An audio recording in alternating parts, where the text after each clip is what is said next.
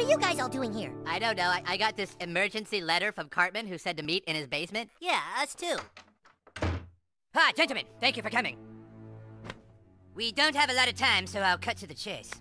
The girls at our school have been hiding something from us. hiding something huge.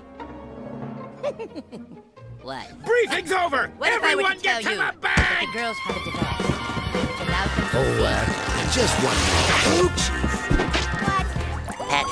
I designed this mechanism specifically to shoot bottles to the surface. The hopes of everyone rest on the success of its maiden voyage.